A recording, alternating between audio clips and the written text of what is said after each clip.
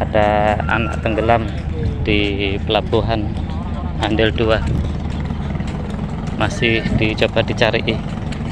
Uh, ini sepedanya ini. Cewek. Jatuh. Baru aja.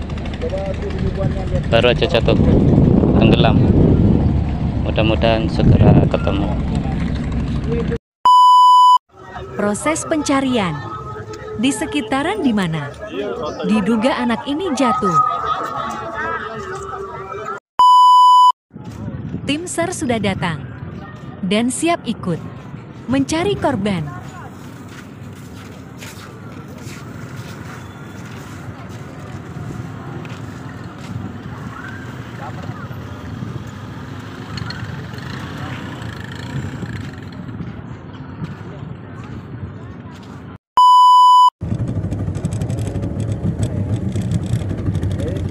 ditemukan kemarin.